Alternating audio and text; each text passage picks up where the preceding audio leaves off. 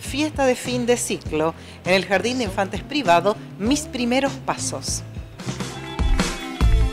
Bueno, con muchas ganas y un tema muy especial este año que se llama emociones, un tema muy importante ya que viene una ley con media sanción de educación emocional y las emociones pasan por todos, por los niños desde que nacen, también sus maestros, sus docentes, sus profesores y también nosotros los directivos.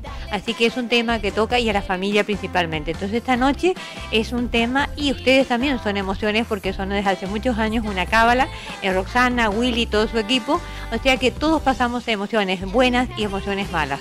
Mientras el público disfruta de las imágenes de este cierre de fin de año, ¿qué balance podemos hacer del 2016? Bueno, un año muy bueno, muy fructífero y también se presenta un muy buen 2017, por lo cual decimos a los papás que estamos ya con salas completas, sobre todo en 3 y 4 años, que son salas que están bastante completas. Tenemos otro horario nuevo para las salitas de un año y 4 meses. Le estamos pidiendo niños que comiencen ya a caminar, no niños que estén en cochecitos. Aclaro, porque las situaciones cuáles son, eh, por más que las salas estén preparadas para ese tipo de niños, pero estamos con una edad un poquito más grandecito, o sea, un año y cuatro, un niño que ya a partir de 12 meses comience a caminar. Mis primeros pasos es un clásico, hace 26 años están en el barrio La Rosada. Exactamente, es un clásico del barrio La Rosada.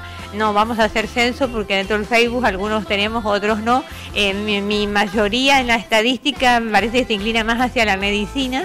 Cuando uno hace el balance y está en comunicación con ellos a través de un Face, es muy importante en 26 años, ¿no? Es importantísimo ver toda la historia que pasa, la trayectoria de ellos, los hijos de ellos, que son los hijos de mis hijos, cuando yo los pongo son mis nietos, que actualmente ya están conmigo y eso es muy emocionante. Es tiempo de colonia de vacaciones, ¿programada para cuándo? Exacto, programamos a partir del 10 de enero, eh, realmente porque una necesidad de padres muy jóvenes que siguen trabajando y generalmente toman sus vacaciones en otros periodos, sobre todo las salitas de uno y dos años.